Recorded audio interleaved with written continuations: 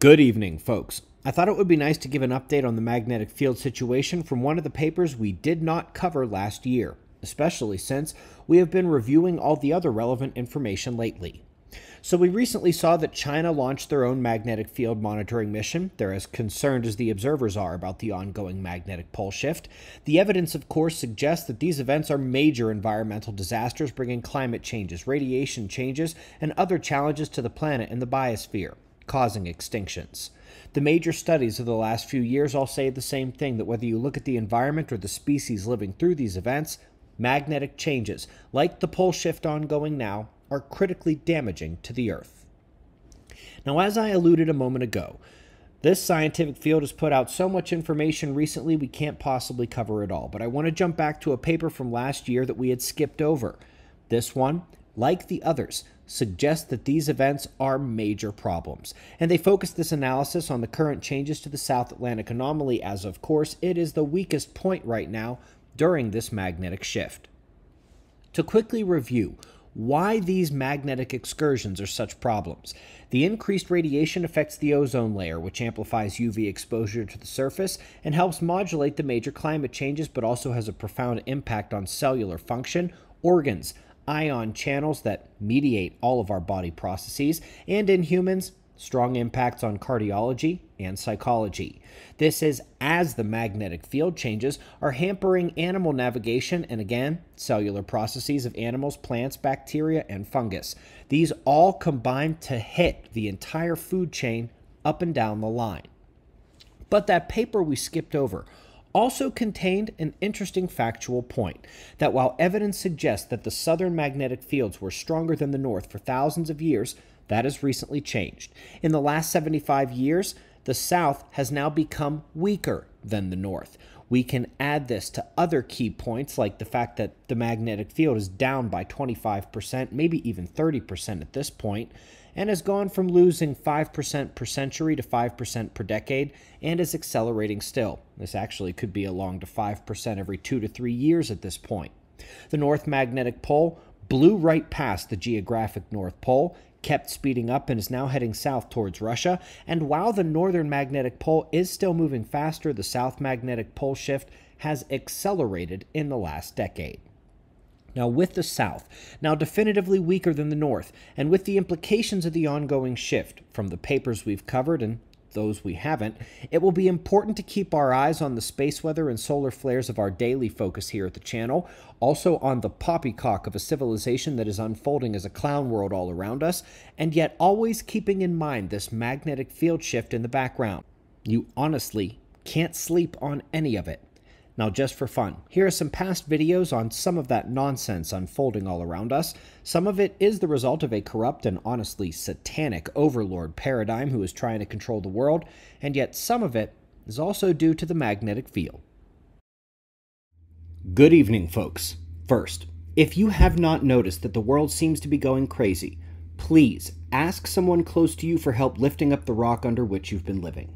Politically, culturally, economically, there's an idiocracy building in the world today, and there are no shortage of reasons to be stressed, to feel squeezed, to feel like the world you knew, and which at least made a bit of sense, is falling apart all around you.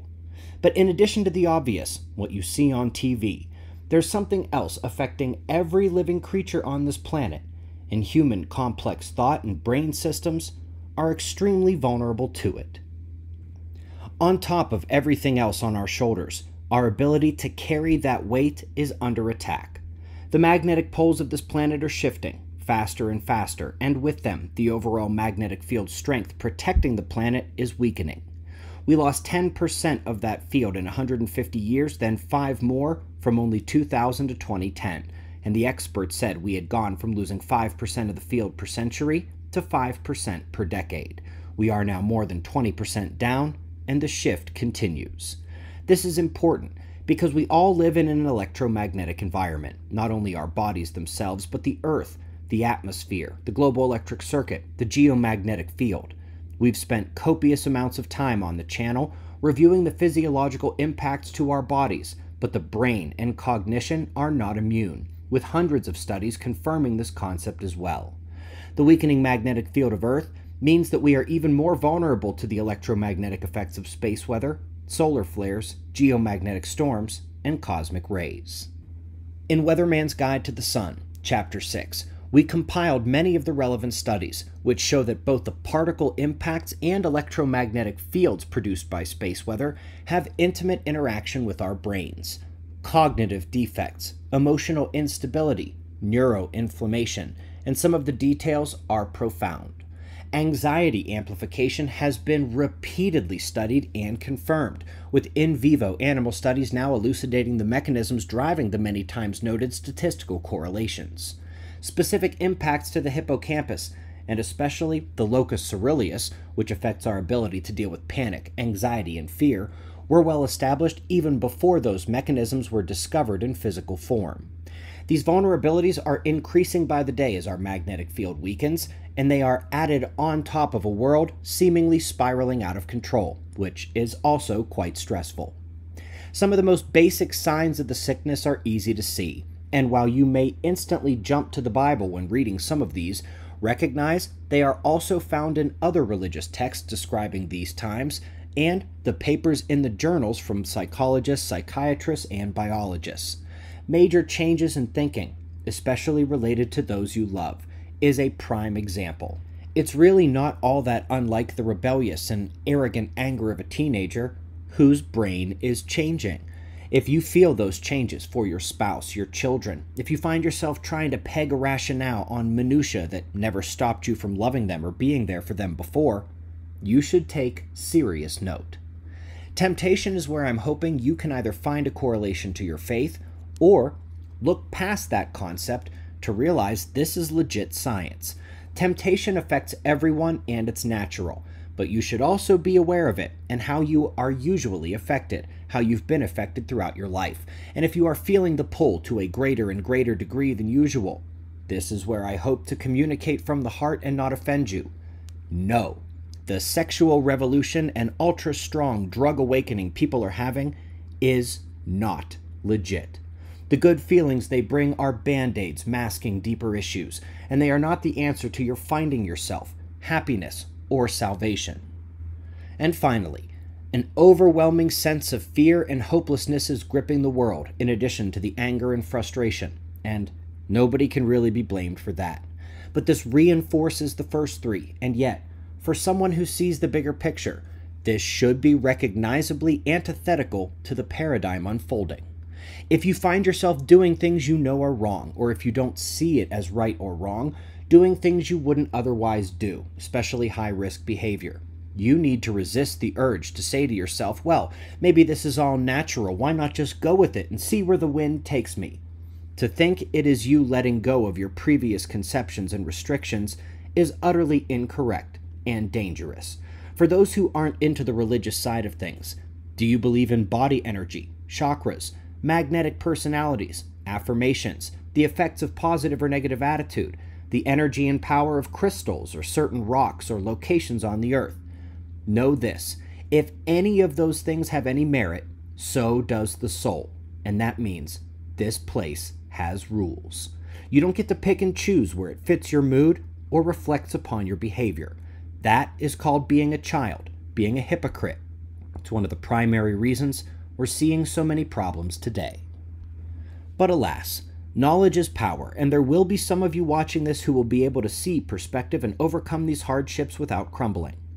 You know, the placebo effect is real, and it can help. It does go both ways, so know that your thoughts, words, attitude, and outlook have powerful potential to influence yourself and the people around you. There are some who will breeze through this with minimal effect, whether by strength of body or mind or soul but there are also very, very clear indicators of increased vulnerability. And any psychologist worth the paper on which their degree is printed will tell you that combining these vulnerabilities is the worst idea. Unhealed trauma from parents, work, childhood interactions like bullying, past relationships, or physical harm. It's critical. The best summarization of this statement is that the mind can temporarily forget but the body keeps the score forever. Drugs and alcohol, including many prescribed drugs, will only enhance this. I am aware that my audience includes big fans of cannabis and even hallucinogens, but even those are not bulletproof, and the intentional nature of their use is where they can be helpful. But that is quite elusive amidst the traumatized, the lost, the suffering, and they can and often do exacerbate traumatic issues, again, as a band aid, if nothing else.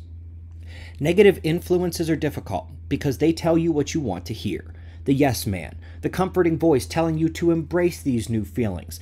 Everything is okay. You're not going crazy. That your long term steadfast patterns are toxic. And yes, it's a great trick, but it is also unequivocally true that they usually just reinforce poor decisions, poor thinking, and poor attitude. How about that last one? Poor diet and poor mental attitude. There are ties into the substance abuse issues listed above, but it's also a separate beast.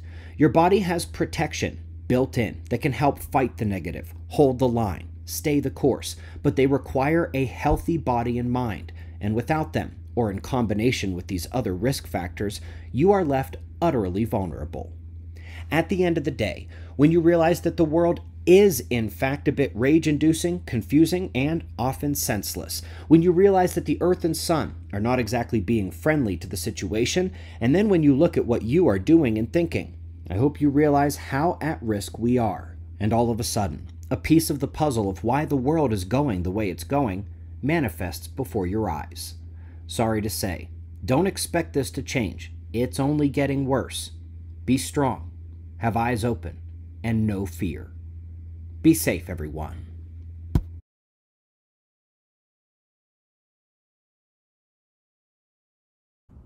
Good evening, folks. As Earth's magnetic field continues weakening, I found myself a nexus for another increasingly prominent thing communication about the stress of it all. About a month ago, we made this video. It went over the natural science connections between cognitive issues, emotional instability, and other psychological problems associated with increasing cosmic radiation. Lots of journal articles on the topic, and it's a hallmark of our current situation as we lose the magnetic protection surrounding our planet.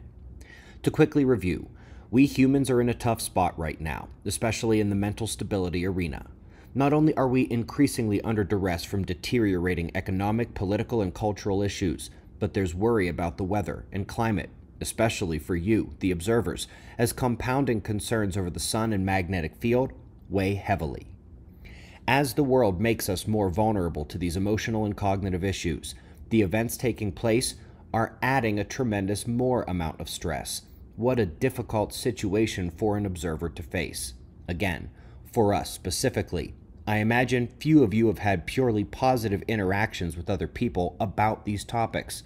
Disbelief and ostracization, if not outright anger, and lost relationships are no stranger to any observer who actively attempts to communicate about these topics, creating a feeling of isolation in the awareness on top of the terrible weight of the knowledge itself on top of what's also affecting everyone who doesn't even know what a solar flare is. It is both comforting and unnerving to read what you guys are sending me these days.